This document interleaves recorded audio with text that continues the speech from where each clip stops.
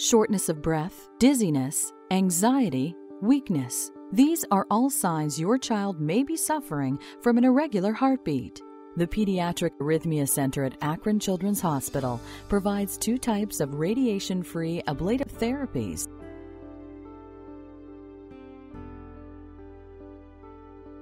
The two options that we have are radiofrequency, which uses, uses heat, or cryo, which uses cold.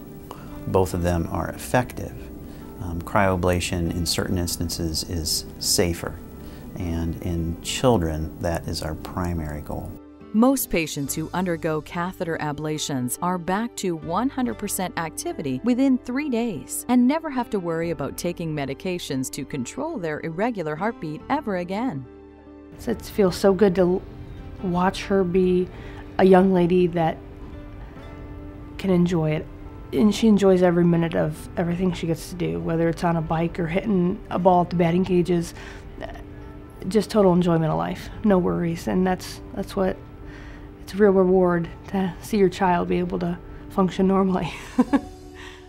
Join cardiologist John Clark and Grace Smith for an in depth look at the treatment options available at Akron Children's Hospital. Watch Minimally Invasive Treatment of Rapid Heartbeats in Children, Thursday, July 14th at 6 p.m. Eastern.